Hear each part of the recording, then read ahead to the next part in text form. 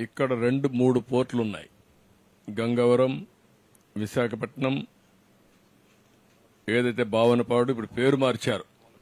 మూలపేట అని ఆ మూలపేటని పేరు మార్చిన కూడా తెలియాలి అందరికీ. పేరు మార్చారు కానీ జరిగింది ఏమీ లేదు.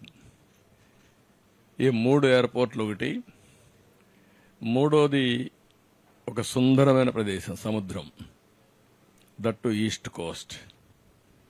ఇది ఒక పెద్ద అసట్ ఇది. భవిష్యత్తులో పెద్ద ఎత్తున పెరగబోయే నగరం ఈ ఎయిర్పోర్ట్తో విశాఖపట్నం విజయనగరం కలిసిపోతుంది. ఇక్కడి నుంచి శ్రీకాకుళం కూడా కలిసే అవకాశం ఉంది. ఎందుకంటే శ్రీకాకుళం యాభై కిలోమీటర్లు విశాఖపట్నం యాభై కిలోమీటర్లు. ఆ సెంటర్లో ఈ ఎయిర్పోర్ట్ వస్తూ ఉంది. అదే మరిగా ఫేజ్ వన్లో బీచ్ రోడ్ భోగాపురం వరకు ఏదైతే బీచ్ రోడ్డు ఉందో అది కానీ మనం వేసుకుంటే ఫేజ్ టూలో ఇంకొక యాభై కిలోమీటర్లు శ్రీకాకుళం ఫేజ్ త్రీలో లేదంటే కంటిన్యూగా కూడా మూలపేట పోర్ట్ వరకు వేసుకుంటే మూలపేట నుంచి ఒక పేర్లల్ హైవే వచ్చి బీచ్ రోడ్ వచ్చి ఇప్పుడుండే ఎగ్జిస్టింగ్ హైవే ఈ హైవే కనుక కలిపేయగలిగితే మధ్యలో కొన్ని కనెక్టివిటీ పెట్టుకుంటే one of the best place అవుతుంది ఇండస్ట్రియలైజేషన్కి nowhere no place can beat this ఇది నాకు ఒక కళ. ఎప్పటి నుంచో మాట్లాడుతున్నా.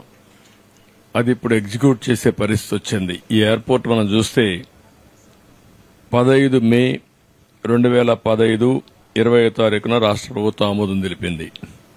నేను వచ్చిన వెంటనే ఆమోదం తెలియజేశాను. అక్టోబర్ ఏడు రెండు వేల పదహారు కేంద్రంలో కూడా సెంట్రల్ మినిస్ట్రీ కూడా దీనికి యాక్సెప్ట్ చేశారు. దీనికి ఆ రోజు రెండు వేల ఏడు వందల ఎకరాలు కావాలనుకున్నాం.